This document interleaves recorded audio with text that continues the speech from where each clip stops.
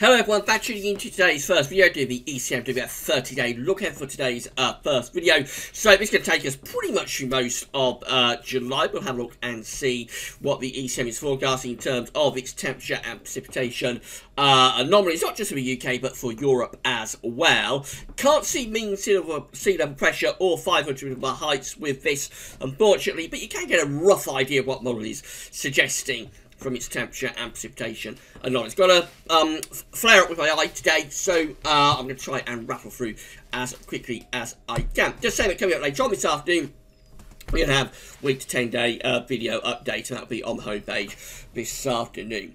So, uh, we're starting off with the week one temperature anomaly. This is from Hungarian Met Office, by the way, so big thank you to them uh, for supplying these charts. Uh, this uh, is week one temperature anomaly. It's week 27 for the year. The year really getting on now, uh, of course, over halfway through. But week one for our forecast period, taking us from the 1st through to the 7th of July real north-south split across uh, Europe this week, so it's much, much cooler than average. You would even say quite cold up across Scandinavia. Look at that in those blue colours. And temperature anomalies at their core around southern parts of Norway are uh, kind of like um, 6 to 10 degrees below average, so very substantially cooler or even colder than average uh, across Scandinavia. Really, really, uh, really co cool week coming up. And also over towards the Baltic Sea uh, as well, looking very chilly uh, over there too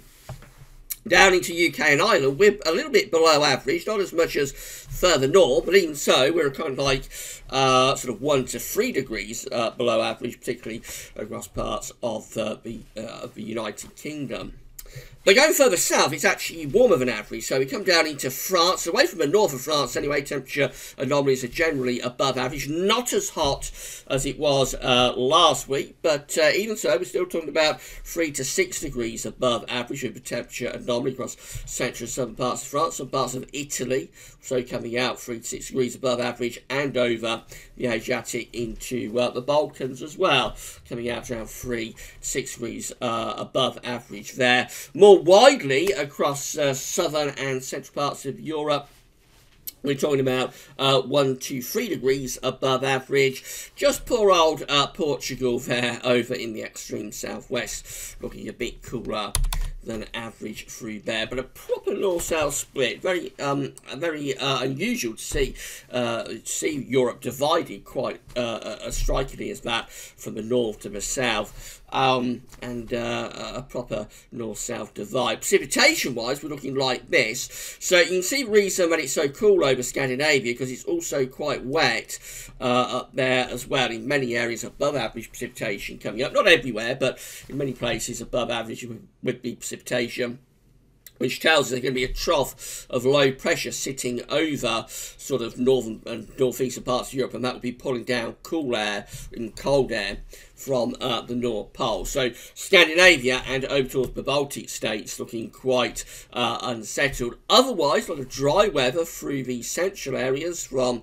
uh, Ireland and the UK in the west over towards the Ukraine in the east. It looks generally drier than average through that central swathe of uh, Europe. And then coming down into the Mediterranean, well, the emphasis is, is on a lot of dry weather. There could be some showers by looking at through uh, parts of Spain, showers around uh, alpine areas, but generally through the Med looks a little bit drier than average in many, many places from sort of the central basin of the Med uh, right way through to Greece and Turkey.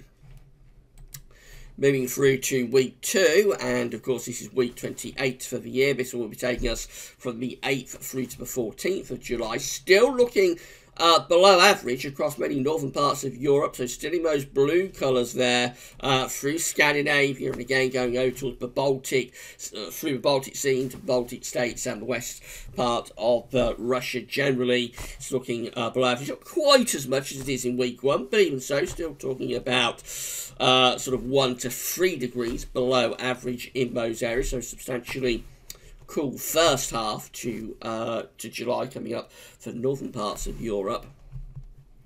quite uh, quite cool as well, extending down this eastern side. So it looks like the cool air is gradually sort of sinking into the eastern part of uh, Europe as well. So again, from around uh, the Balkans, uh, are just here, going over towards the Black Sea. It's looking generally uh, on the cool of an average side there. But Mediterranean looks quite warm though. This central bowl of the Med looking uh, rather warmer than average, near normal temperatures for Spain and Portugal. France still looking uh, still looking quite warm. And these warmer temperatures look like they're extending up in towards the UK and Ireland as well. So kind of like average to a little bit above average with the temperature anomaly for the UK and for Ireland during the second week of July. A little bit warmer compared to uh, week one.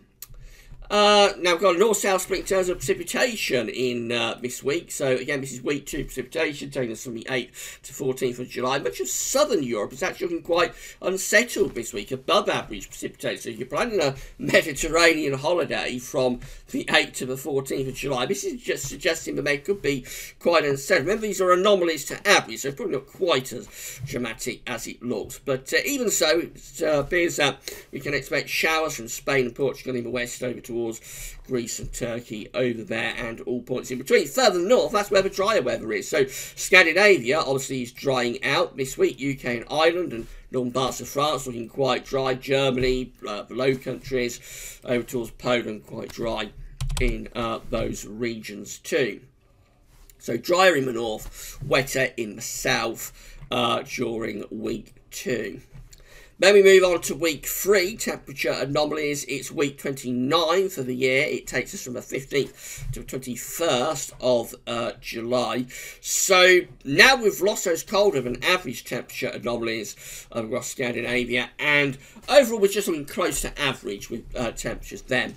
Ireland and the UK also close to average with the uh, temperature uh, anomalies. It looks rather warmer than average um, in the west of Europe, though, so from France over towards Germany. It's a little bit warmer than average through there. This eastern side of Europe is close to average with temperature anomalies. And through the Mediterranean, it's kind of like um, sort of average to a bit above average. So not a particularly hot week, but it certainly is relatively warm, let's say, uh, still through the Med uh, during week three.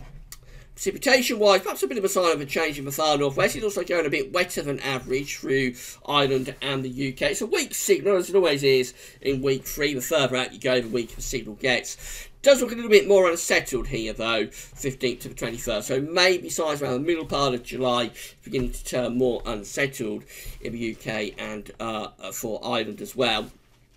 Otherwise, there's not a huge amount to go on, really. It just looks uh, sort of close to average and probably, you would say, no signal through uh, many parts of Europe during this third week of the month.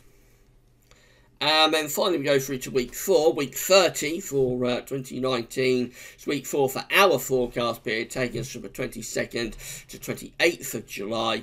The central parts of uh, Europe and out towards west, again, looking rather warmer than average. So, France, uh, Belgium, Holland, uh, and then in towards Germany and uh, Poland. It's looking overall a little bit warmer than average through there. Near normal temperature anomalies across Scandinavia. So after a cold first half of the month, it does look as though the temperature recovers to some degree second half of the month across Scandinavia. Ireland and UK. Uh, getting close to average with the temperature anomaly there. And across southern parts of Europe, a relatively weak signal through the Med, but probably a little bit on the uh, on the warmer than average side, if anything. Precipitation-wise, it still looks quite unsettled in the northwest. This is, does look like it could be a wetter second half to July for Ireland and the UK. Uh, and this is week four precipitation. It's normally quite a weak signal at this point. So that's for week four. That's a pretty strong signal with this model for it to be wet better than average uh, for Ireland and the UK. So there's possibly some sort of deterioration going on here in terms of precipitation as the month progresses, which is not what we want to be seeing because as we get towards late July, we're going into proper sort of high summer, uh, and a lot of people on holiday, of course, at that point. So, um, 22nd, 28th of July, final sort of full week of July, is looking a little bit uh, unsettled with the signal here for the UK and for Ireland as well. Elsewhere, it's just uh, very weak signals again. If anything, these central areas possibly hinting at being a little bit drier than average and through southern Europe too. But again, really, really weak signals by the time uh, we get through to week four. So it looks like uh, we've got uh, a colder than average first half. And I do say cold average rather than cooler than average because both anomalies are very much below average for Scandinavia. So uh, for Northern Europe, Scandinavia, it does look like the first half of July is going to be uh, really quite cold. Southern areas looking warmer. Uh, precipitation relatively dry across uh, many parts of Europe away from Scandinavia anyway for the first half of July. Those dry conditions probably probably extending through to the second half in central southern parts of Europe. But up in the northwest, around the UK line, it does look as though the second half of July could actually be turning more unsettled here, and uh, possibly some wetter conditions coming along for the uh, middle and second half of the month uh, for Ireland and for the UK too, which I say is not what we want to be uh, talking about. It goes very much against Gasworthy's summer forecast, so um, we should just see what happens there. But uh, that's what uh, the ECM is hinting at at uh, today.